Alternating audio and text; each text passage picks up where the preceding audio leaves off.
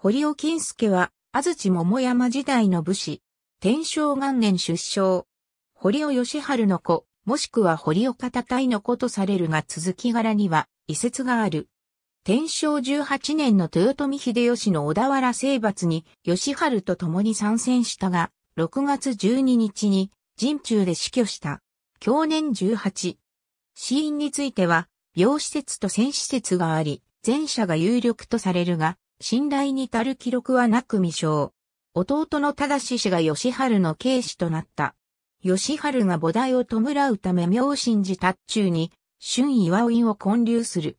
寺名は、金助の戒名、逸岩瀬春禅城門による。金助については、厚田の祭壇経を掛け替えた際に付けられた、金助実母の文である、義母指名文にその名が見える。第二次世界大戦後には、日本女性三名文とされるこの祭壇教の義母指名文を元にした物語が多く創作された。諸書の記述によって吉春との続き柄が違う。どの説も決定的なものはなく、金助母の続き柄も変わる。堀吉系図、完成重修書家譜によると、吉春長男とされる。したがって、金助母は、側室と推測される。堀尾義治の子で病死としている。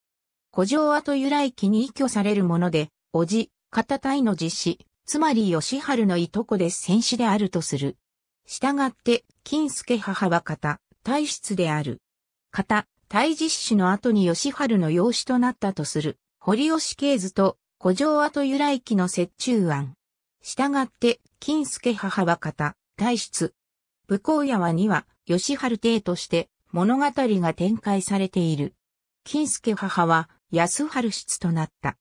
名古屋市では吉春、方、タイとは別系統の堀吉族である小技との住人、堀尾本助の指定ではないかとの推論が独自展開されている。